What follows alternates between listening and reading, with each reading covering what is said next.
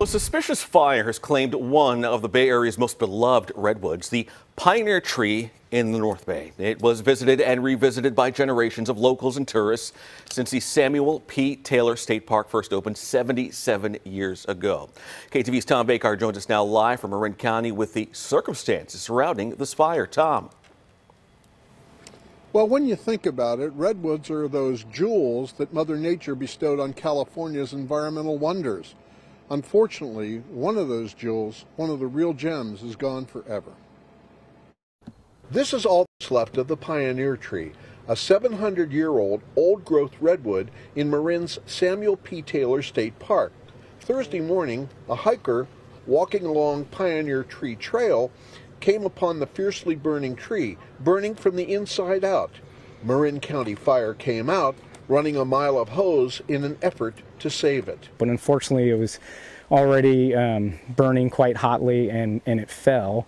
Um, in the early afternoon. Vince Anibulli is Chief Bay Area Ranger for the California State Park System.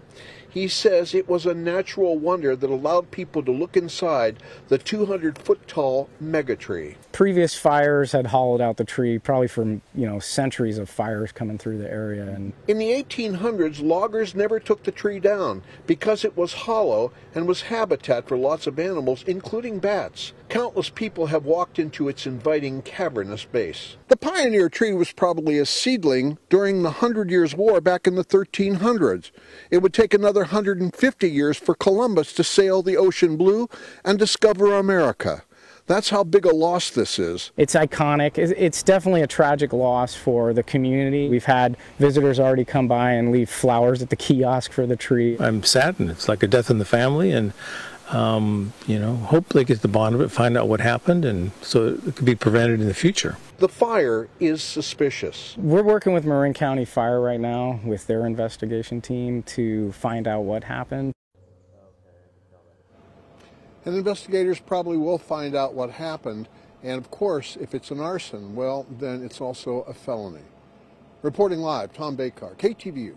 Fox 2 News. Yeah, hopefully investigators find out sooner rather than later exactly what happened there. Tom, thank you. Mm -hmm.